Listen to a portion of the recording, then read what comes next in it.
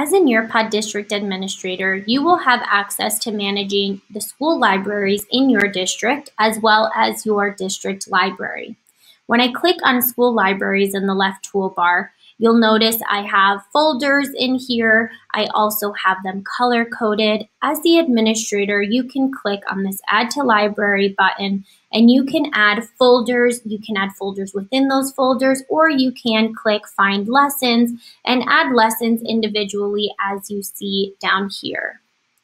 Additionally, if I click on this little blue button with the three dots, I can adjust my school library settings. This will allow me to change the name of this library. It'll also allow me to enable or disable teachers adding lessons into the school library.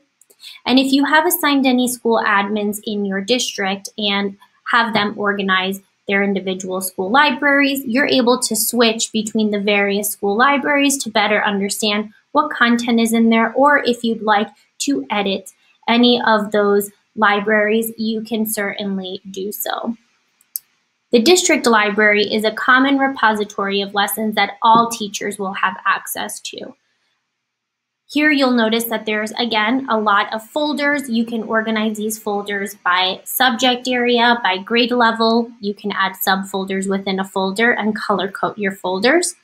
Again, here I can click add library, I can find lessons, I can add a new subfolder. And if I click on the gear next to district library, this will allow me to rename my district library and again, enable or disable adding lessons to the district library.